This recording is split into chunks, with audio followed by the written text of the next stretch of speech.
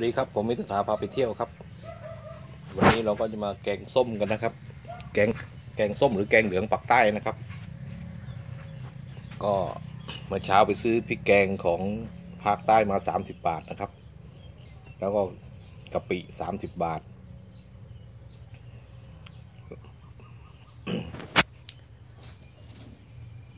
ปลาทับทิม2ตัว แล้วก็กุ้ง1กิโลนะครับ ก็มา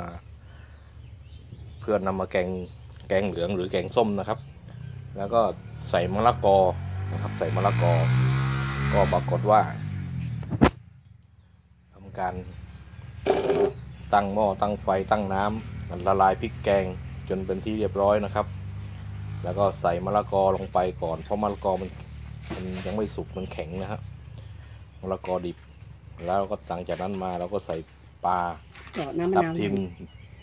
ใส่กุ้งนะครับ แล้วก็ใส่น้ำมะนาว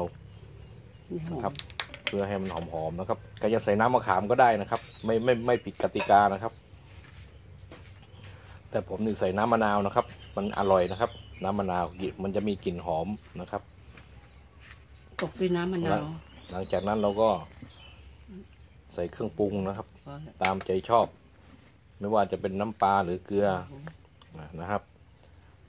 หรือน้ำตาลเล็กน้อย น้ำตาลทรายเล็กน้อย ก็แล้วแต่ท่านนะครับ ของแล้วแต่คนจะปรุงนะครับ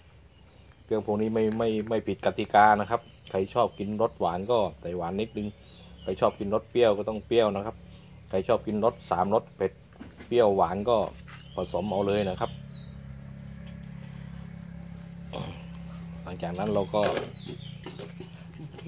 ปรุงเป็นที่เรียบร้อยชิมให้เป็นที่เรียบร้อยจะถูกอกถูกใจถูกปากถูก